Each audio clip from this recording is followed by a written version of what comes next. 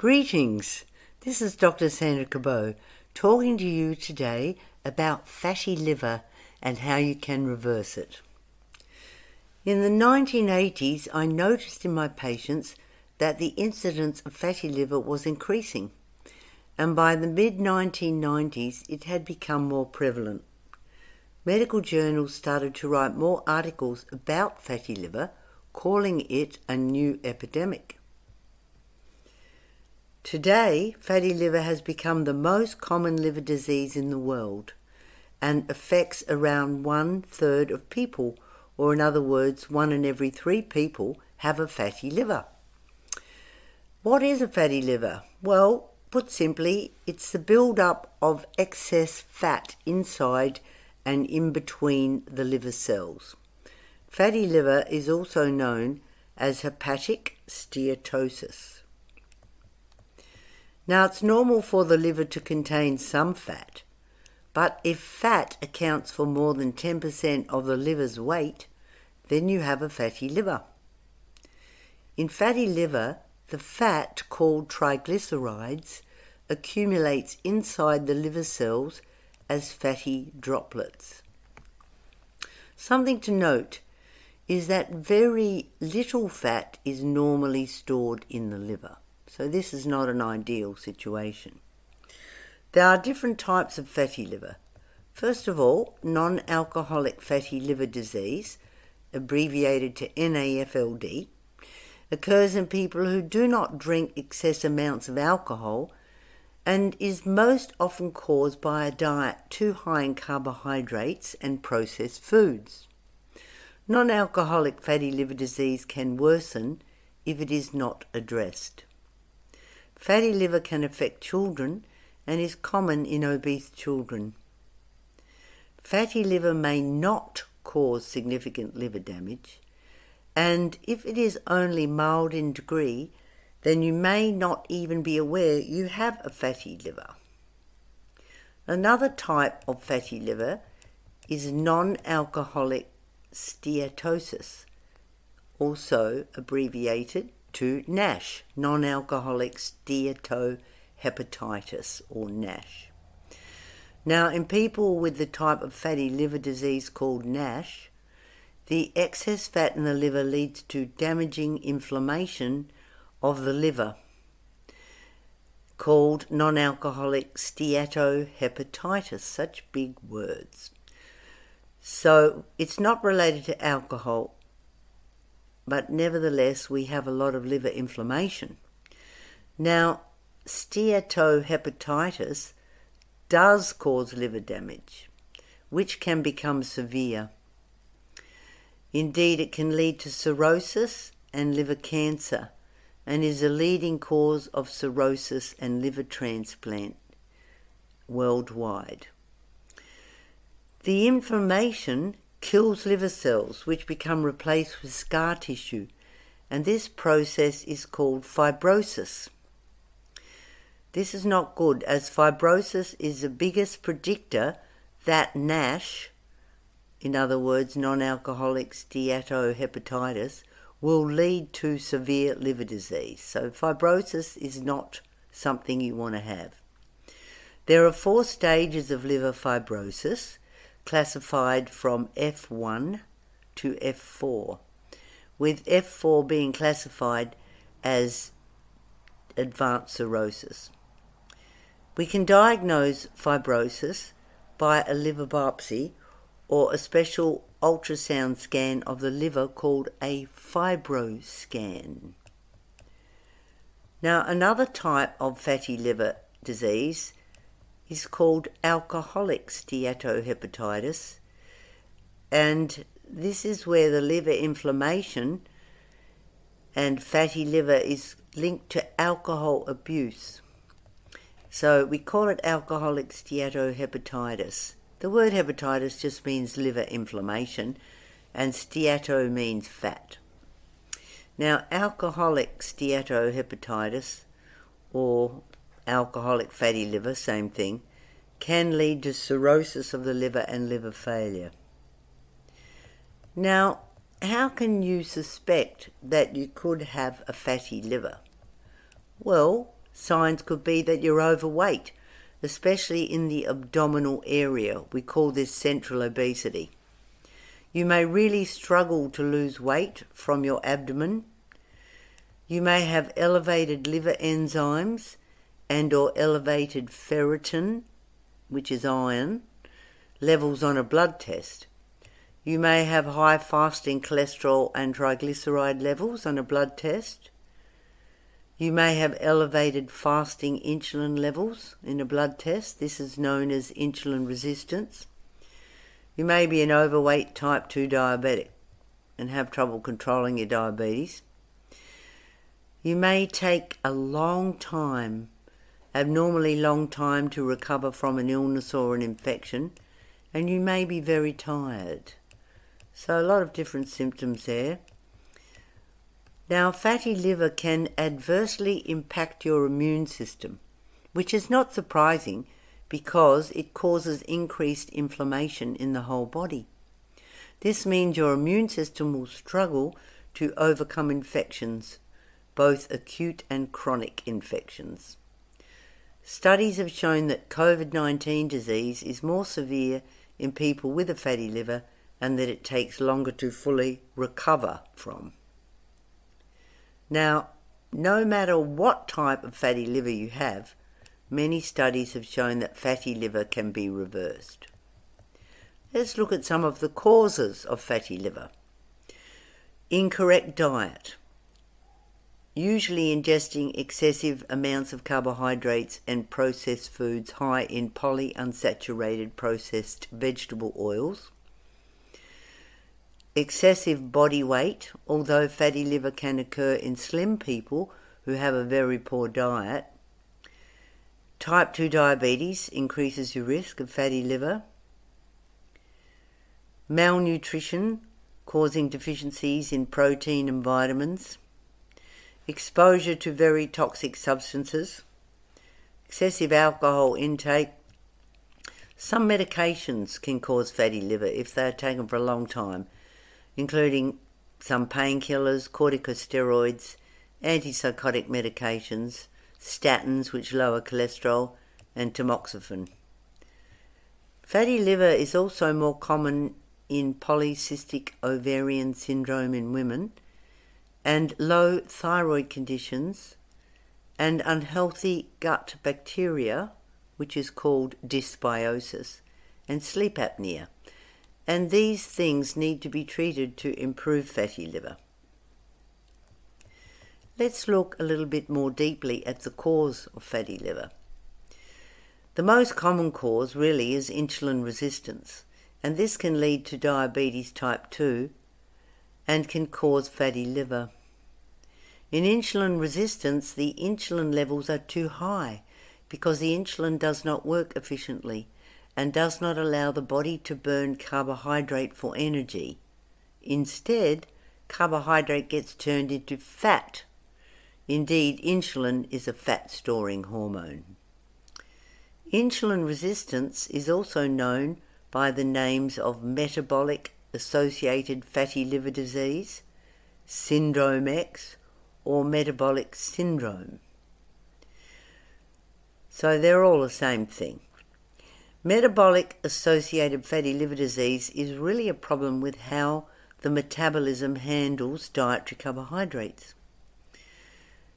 This can be serious because many patients with metabolic associated fatty liver disease develop cardiovascular disease or cancer, but they can also develop severe liver disease.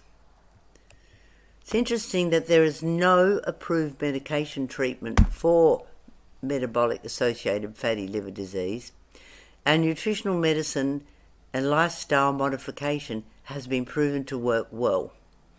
A study of 293 patients showed an improvement in liver fibrosis in 90% of patients who achieved a modest weight loss of more than 10%. It is also important to avoid medications that can cause fatty liver, such as corticosteroids, valproic acid, methotrexate, and amiodarone. And you can see the reference for that study here. Now, when abnormal liver function tests are discovered, it is important to exclude other types and causes of liver disease. Fatty liver is often overlooked. Many people have a liver which is too fatty or overburdened by toxic chemicals. But what I see all the time is that they don't realise this is the reason their health is down and they are not getting better. Some doctors underestimate the liver's role in the failure to recover from illness or achieve good health. Doctors are trained to treat liver disease, but often by then it's too late. It is not safe to just monitor the progress of an unhealthy liver when there are safe, reliable ways to reverse liver inflammation. Recently, I saw a middle aged man who was struggling to get over long COVID because it had given him blood clots. I explained to him that because he had a fatty liver, he would not achieve his pre COVID health status. However, he could reverse his problem by improving his liver by quitting sugar, eating more vegetables and good quality protein, and drinking more water and freshly made juices from lime, lemon, and grapefruit. He would also need to take Livatone Plus, which is the world leading and clinically tested formula. How is fatty liver disease diagnosed? Well, fatty liver often has no symptoms or only vague symptoms, so your doctor may be the first one to spot it. Higher levels of liver enzymes or elevated serum ferritin, which is iron levels, that turn up on a blood test for other conditions or on a routine annual blood test should raise a red flag for fatty liver. Elevated liver enzymes and or ferritin are a sign your liver is injured. And remember, excessive fat in the liver can injure your liver. Now, to confirm a diagnosis of fatty liver, your doctor may order the following tests. Test to image the shape, size, and texture of your liver, such as an ultrasound scan or computed tomography, which is a CT scan of the abdomen. Or the doctor may prefer to do a liver biopsy to determine how far the liver disease has progressed.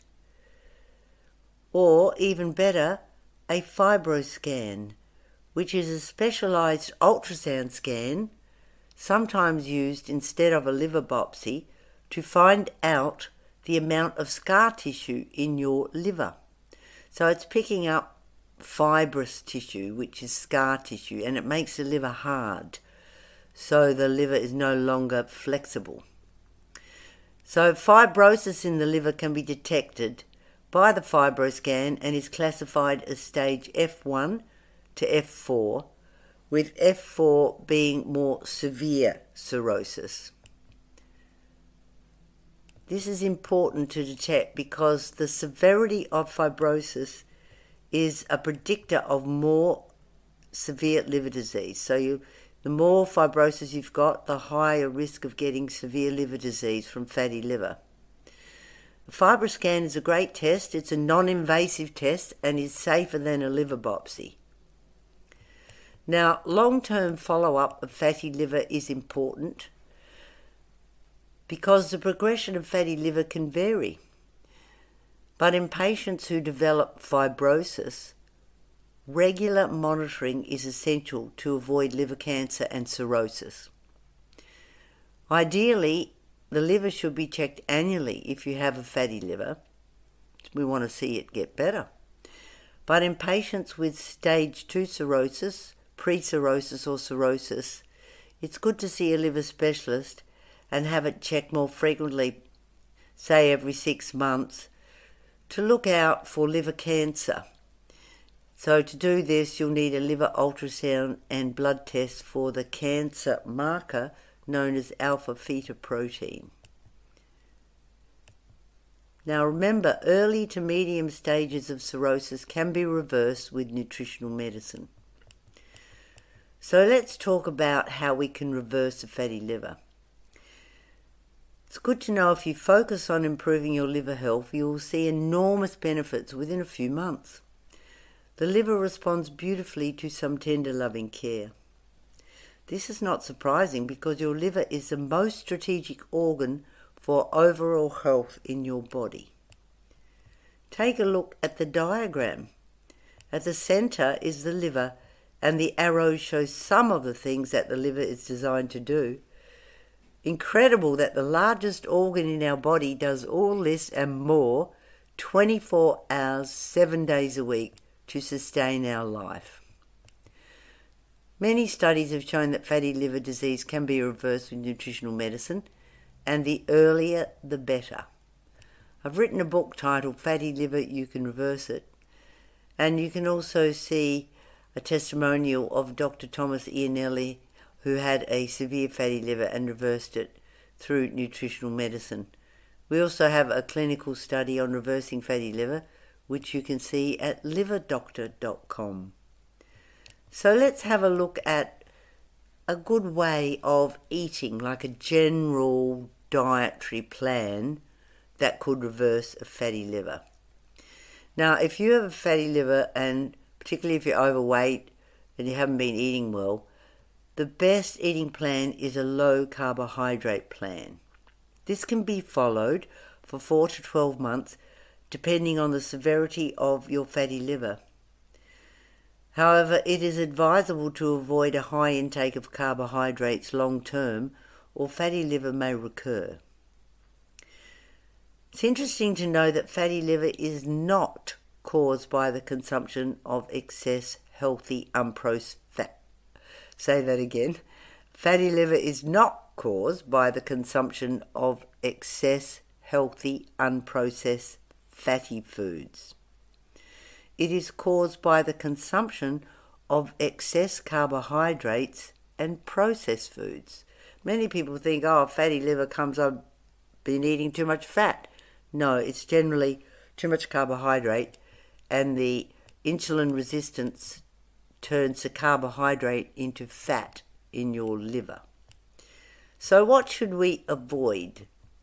Well, high carbohydrate foods, because they will get turned into fat in the liver. Now, grains are high in carbohydrates, so wheat, rye, barley, oats, rice, corn, and things that are made from these ingredients. So, you want to exclude pastry, flour, bread, biscuits, muffins, cereals, cakes, biscuits, cookies, pasta, noodles, etc., made from these things. Avoid honey, sugar, jam, sweet preserves, and sauces salad dressings containing sugar, ice cream and sweet desserts, deep fried foods. However, stir fried is okay if you use healthy oils. Avoid wine, beer, sweet drinks, sodas, and fruit juices. Fruit juices are very high in sugar. Margarine, which is processed and contains uh, polyunsaturated vegetable oils and avoid processed foods containing trans fatty acids and polyunsaturated vegetable oils. Now, what are the good foods you should be eating if you have a fatty liver? Well, spreads that you can use include tahini, hummus, avocado, tomato paste, nut spreads, salted or unsalted butter. And if you want to put on that, and if you want to put those spreads on bread, it has to be nut and seed bread. It has to be no flour, no grains in the bread. And you can find recipes for nut and seed bread uh, on the internet and you can also buy it. So, bread which is made from nut and seeds only um, is harder than bread containing flour from grains. Um, and um, it tastes quite nice, it's crunchy. So you can have those spreads on that nut and seed bread or on vegetable sticks. Um, you can have that on um, any foods, really, whatever you enjoy. Now, healthy salad dressings made from apple cider vinegar, lemon, lime, and cold pressed oils are good. You can have fresh meat of all types. Well cooked is best, but avoid smoked or preserved meats. You can have eggs, free range or organic is best. You can have organic free range poultry.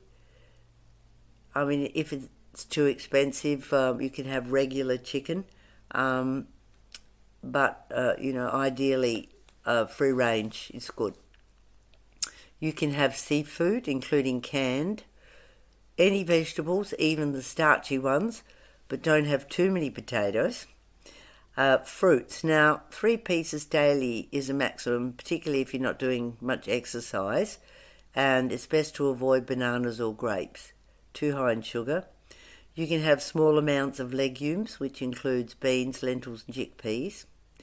And you can have raw nuts and seeds, and they can be roasted, raw, or salted, or unsalted, and they're excellent. You can have yogurt, which has to be plain, unflavoured, and full fat is best because it's not processed. And you can have cheese such as feta, pecorino, vintage, parmesan, cottage, ricotta, but avoid the processed sliced cheeses, which often have artificial colouring. What are some other good foods for fatty liver? Raw vegetable juices are good. You don't have to have raw vegetable juices and you don't need large amounts. Um, you know, just half a glass two or three times a week is good. Um, things like cabbage, carrot, beetroot, turmeric root, spinach, tomato, ginger root, very good reduce inflammation in the liver. You can have coconut milk or coconut cream, which can be diluted with water and makes a nice milk. You can have unsweetened almond milk. You can have coconut oil, cold pressed oil such as olive oil. You can have SyndeX slimming protein powders, excellent for smoothies made with coconut cream and water and berries. SyndeX protein powder is all natural, extremely low in carbs, high in protein and reduces hunger. You can also make yourself a grain-free muesli and it's nice with coconut milk or coconut cream diluted with water or almond milk. So you can see a recipe here, whey protein powder or SyndeX protein powder, ground linseed, sunflower seeds and almonds, we abbreviate to LSA, pumpkin seeds, a few cashew nuts, or other nuts you like, and chia seeds. It makes a nice grain-free muesli. You could have some full-fat plain yogurt on that or some coconut milk and some berries. So it makes a nice breakfast for a change. Now, alcohol. We should really avoid wine as it's high in carbohydrates. Many beers are high in carbohydrates, but low carb varieties are available. A lower carb, better alternative is dry spirits but only in small doses occasionally. So spirits such as rum, whiskey, vodka, tequila, with soda water, fresh lime and lemon, and stevia or nature sweet sugar substitute. If you do have a problem with alcohol and you find you're drinking too much, it's best to avoid it all altogether. You can make a nice drink, drink mix um, by adding a little bit of ginger root, Pass a small amount through the juice extractor, add it to the soda water, stevia, lime, or lemon.